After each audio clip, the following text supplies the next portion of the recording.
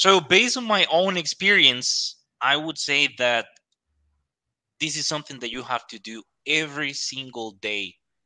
In my case, for example, um, I'm almost 30 years old now, and I started learning when I was eight years old, meaning that I have been studying for, I would say, 90 or 95% of my entire life, and I'm still learning. I still do it every single day. I wake up in the morning and I grab a book, I grab my phone, and I read an article, I watch a video, I watch the news, I talk to people, I talk to friends. So it's something that you have to do every single day because unfortunately english is not my native language and i'm sure that is not your native language either since you were mm-hmm. asking us that question so if you want to improve your english try to practice every single day. No no matter how much english you know no matter how good you are no matter how uh, excellent you are continue doing it.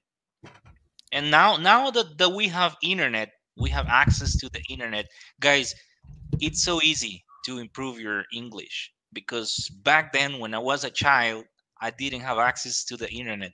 The only thing i had was a small dictionary and that was it. I didn't have a smartphone. Hmm there were no smartphones at, at that time. So right now that that most of you have access to the internet. You guys have access to Hipronary school on youtube. Back then youtube was not a thing. No. so now you have access to all that and Yeah. now since technology allows you to connect with other people from other countries just this is an example we are here in costa rica and we have people from other countries even from haiti guatemala colombia el salvador mexico etc so technology allows you to connect with other people if you want to practice and also another example is that we're going to be launching a course virtually and it will be a way to connect with you guys. So once again, be a consistent learner, stay committed and never give up because if you study for a year and then you give up, you're not getting anywhere. Try to do it every day, non-stop. I wouldn't normally add a single comma to Emmanuel's comments, but I'm gonna add something.